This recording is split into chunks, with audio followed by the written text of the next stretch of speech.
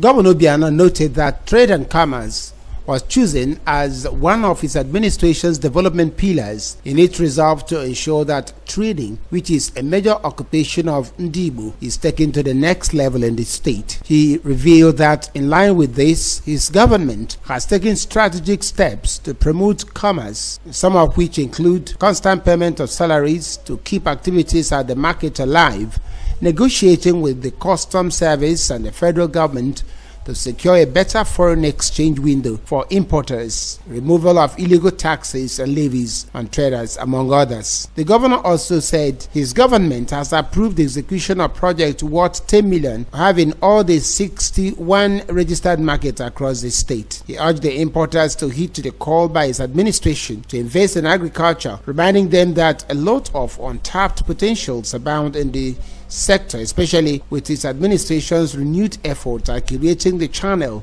for export of agricultural produce from the state. To make money fast is in agriculture.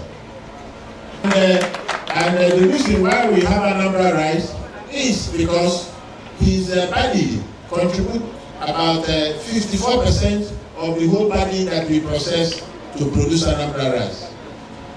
I fought the criminals I'm still fighting them and will continue to fight them. In his remark, the President General, Southeast Amalgamated Traders Association, and Chairman of the State Amalgamated Traders Association, Chief Okwudili Ezenwankwo, thanked the Governor for giving the welfare of traders in the state priority attention and said what he has done with the 10 million naira per market initiative will go a long way in strengthening the resolve of the traders to continue to lean their weight behind him and APGA.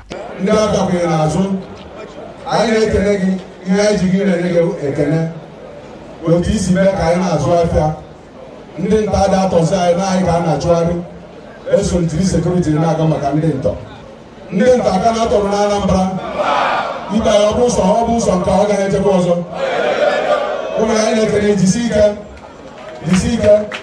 Ife anyị na-arịọ oyi ihe ọ bụ gụọ frans gọvanọ na-abịa na Sokoto road a. Ọ bụghị eziokwu.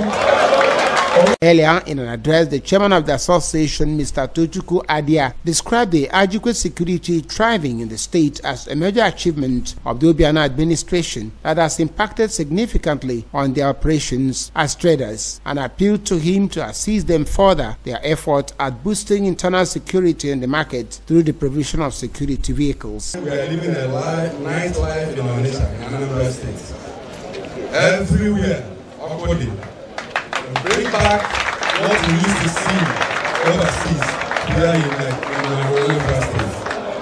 I went to um, now. After the importers in the Nubuda, we were able to say again,